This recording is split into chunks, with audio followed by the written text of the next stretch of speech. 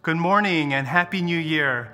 And I can't believe it's already 2023. One of the things that I love about the new year is that no matter what your past year has been like, whether it's been good, bad, chaotic, and everything in between, we get to just pause and reset our lives again to the invitation of Jesus in this new year. This will be an interactive service, and so take some moment, grab an apple and honey, and if you don't have that, that's totally fine. Grab something sweet, and we would love for you to engage with us in our worship service. So now, let's take a moment, let's pause, and let's worship our Jesus together.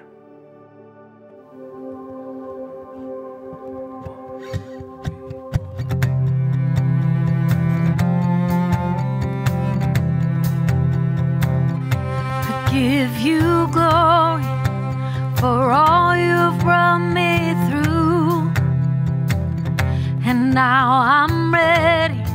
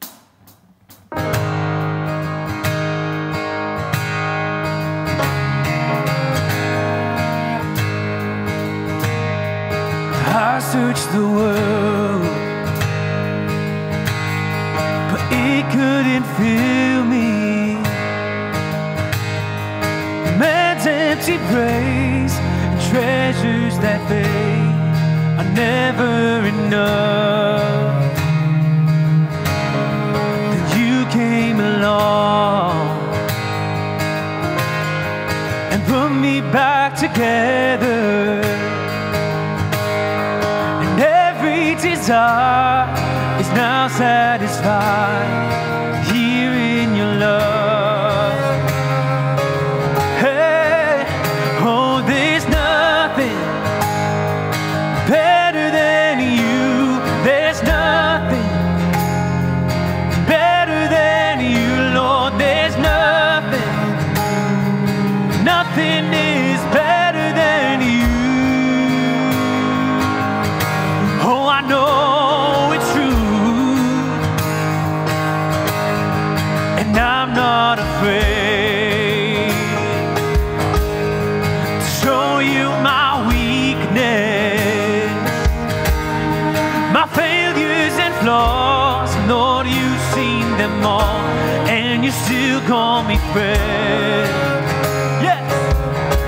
Cause the God of the mountain,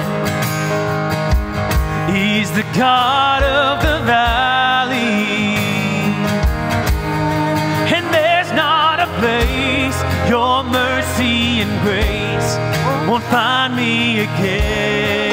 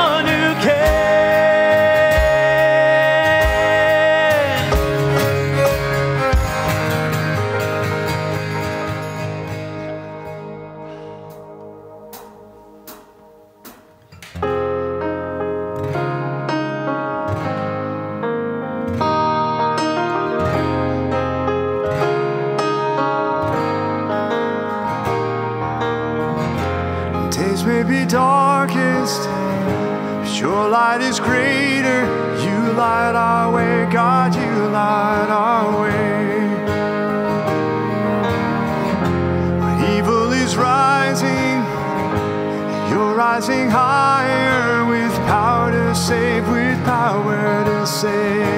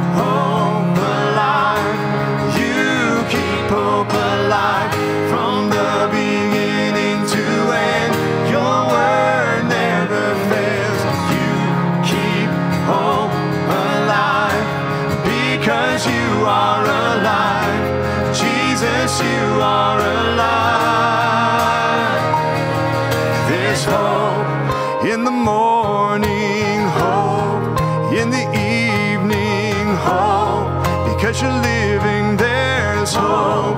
Because you're breathing, there's hope. In the breaking, hope. In the sorrow, hope. For this moment.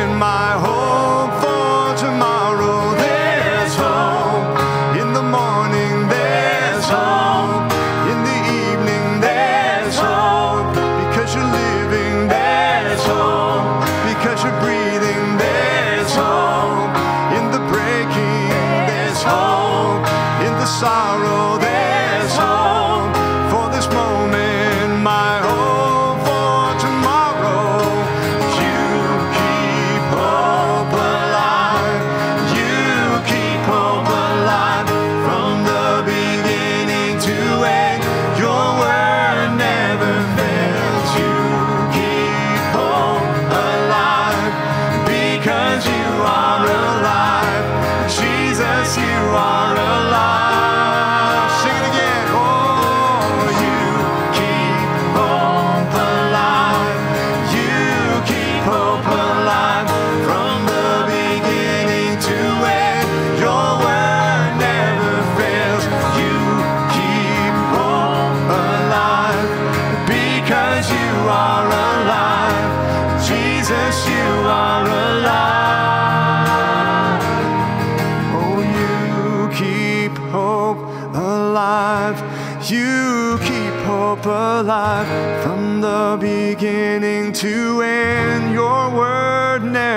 fails, you keep hope alive because you are alive. Jesus, you are alive.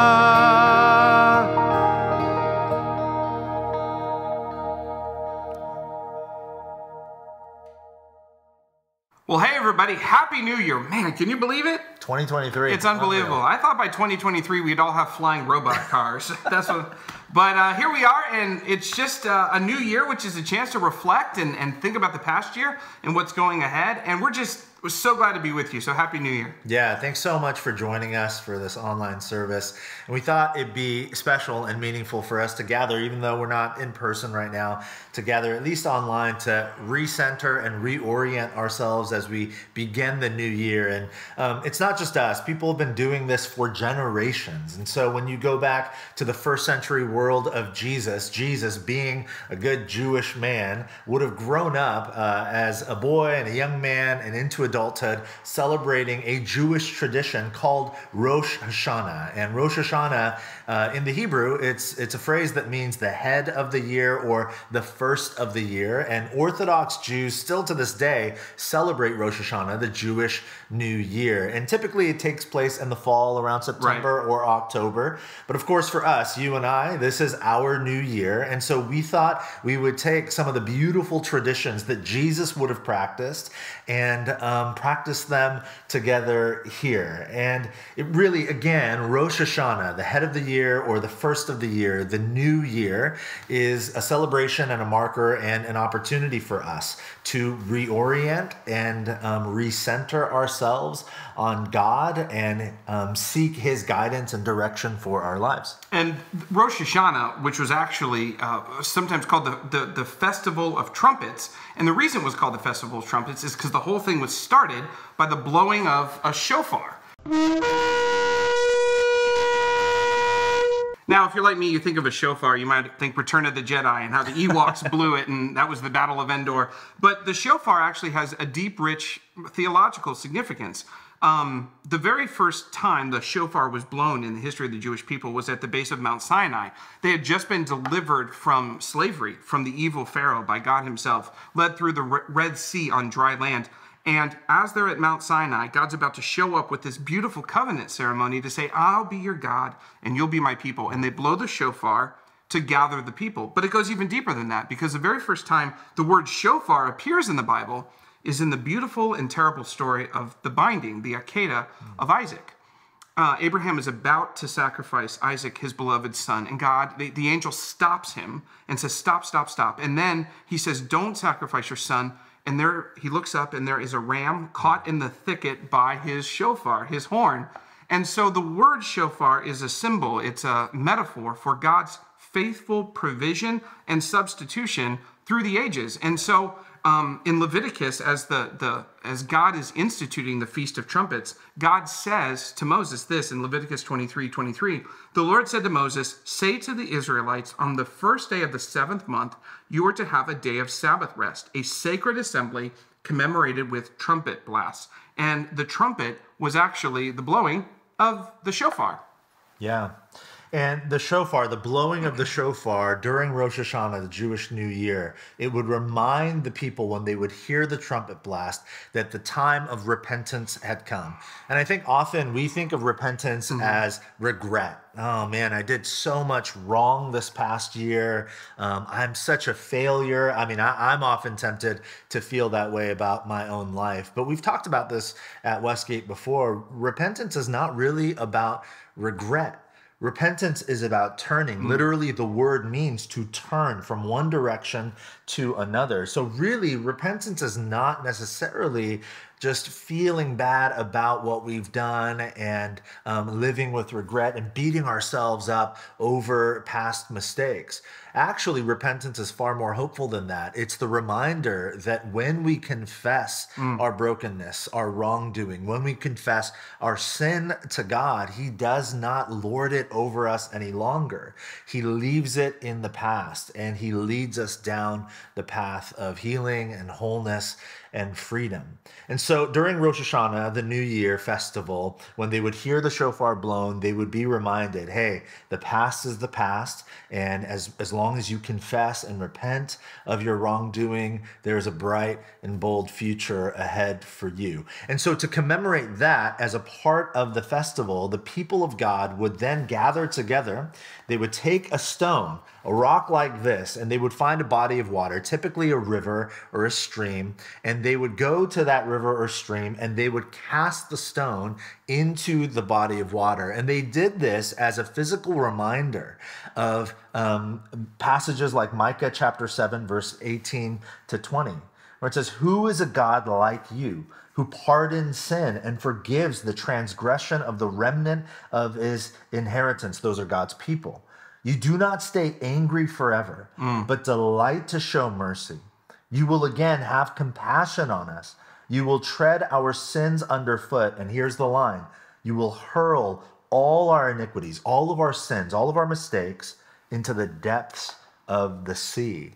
And so for us, as we leave the, the past year behind and move into the new year ahead, um, this is a reminder for us that all of the past mistakes, all of the failures, all of the brokenness, all of the pain, as long as we confess it to God, bring it to God, He has compassion on us and He hurls our brokenness, our sins, our wrongdoing, our mistakes to the depths of the sea. What a beautiful reminder of God's faithfulness and his provision for us. But then, after that, after you hear that incredible news and are reminded of God's good graciousness and his faithfulness to us, the people would eat a celebratory meal. Yeah. And one of the things they would often have is they would have apples and they would have honey. Now, honey is the sweetest naturally occurring substance on the planet. Is that true, Dave? It is. Wow, I looked it up. amazing. I Googled that. This is before Snickers bars. Um, and so Also, not natural Snickers bars.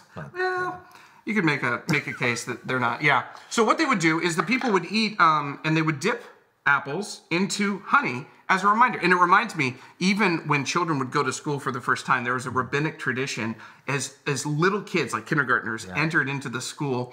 The rabbis would give the children honey, and they would read this verse from Psalm 119, which is, "How sweet are your words to my taste, sweeter than honey to my mouth." The Jewish people would be reminded that God's word that God's presence with them is the sweetest thing in the world, and they would eat it. So that's what we do. They would also, uh, there's also Psalm 34 taste and see that the Lord is good. This is just a reminder, a celebration, uh, kind of a visual reminder and a, and a tactile reminder through, through the senses that God is sweet. And so they dip the apple into honey. Jay, you want to do this too? Come on, it'll be fun. And we said at the beginning of this service online, you know, for you to grab some apple slices and some honey, or if you don't have that, something sweet. something sweet, Like a box of- Snicker- Snickers bar, Or a box some- of nerds. I don't know. So we would invite you to do this with us as well. Yeah, let's taste and see that the Lord. Do, or do you want to toast? Do we do? Cheers. Cheers to God. oh, that's sweet. Mm. Are these Fuji apples? They are. I, I requested. You. They're not really so- good. oh, man. Mm. Really good. The Jewish people would say this um, a prayer, a prayer of sorts. Be it thy will that a good and sweet year be renewed for us. Blessed are you, O Lord, our God, King of the universe, creator of the fruit of the tree. Yeah, I love that line that God is the creator of the fruit of the tree. Uh, for those of us who are somewhat familiar with the biblical story, it reminds us, of course, of the opening lines of the Bible Yeah. in Genesis when a good God creates a good world. And he tells man and woman, he says, Man, this is all for you. It's for my glory, God's glory, and it is for your good. And I believe that that story continues on for us today, that God has good in store for us. God has good in store for you. He has fruit to offer you in this year to come. And that good may not look the way you planned. Often it doesn't. But if we believe that God is God and we are not, then what we also believe is that He knows what's good in ways that we can't possibly understand. So, as we again recenter and reorient ourselves as we head into 2023, our hope and prayer is that we might trust in the goodness of God and that He might in turn bless us with a sweet new year. You know, it's amazing. There's this uh, there's this prayer that we have that that this would be the best year mm. that you've ever had with God. that this would be the best year you've ever had with God, that you would never look back on the good old days with God, mm. but this year would be your best year with God, that you'd be closer with Him, that you'd walk with Him tighter, that you'd experience His goodness and provision and joy that comes with walking with God more than you ever have. So, Happy New Year as we recenter ourselves on God Himself.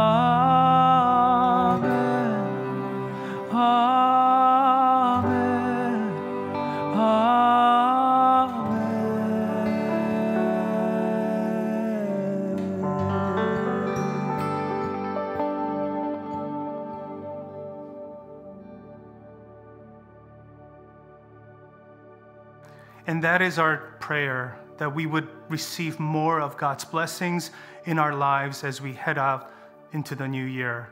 For us here at Westgate Church, there are many next steps to help you find your next step in your journey of growing in your relationship with Jesus. Whether you are new to our community or exploring your faith or you're disconnected and you want to find your community here at Westgate Church, there is a next step for you. You can find out more through westgatechurch.org slash next steps, or for the next two weeks, we will have our next steps tables out in all of our campuses, and our team would love to help you find your best next step.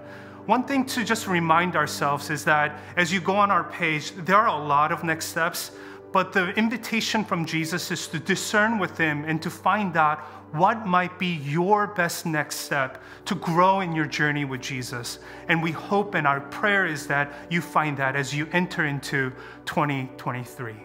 And here's Jay for the closing benediction. Thank you guys so much for joining us for our New Year's Day service. And one quick note I know that some of us um, are, we miss each other and we're, we're looking to be together. So we do have an in person gathering tonight, 4 p.m., at the Saratoga campus called New Year's Together. It's a family service, so you can bring the kiddos. It'll be a shorter service, about an hour or so, and we'll sing together. Um, I'll talk a little bit about uh, how change actually works and maybe happens in our lives. I know in the new year we're all thinking about um, how we might change things for the better this year. So uh, if you are wanting to gather in person, we would love to see you tonight, 4 p.m. at the Saratoga campus um, and we'll, we'll be able to worship together. And so, finally, as we go from here, not just into the week that is to come, but the year that is to come, may we go in the great confidence of knowing that we have a good God who loves us and He has a good year in store for us, a sweet new year. And what, we, what we're called to do is live with longing and expectation and openness. Um, to what God by His Spirit might want to do. So that's my prayer and hope for you. Grace, peace, and love to you, and uh, we will see you all very soon.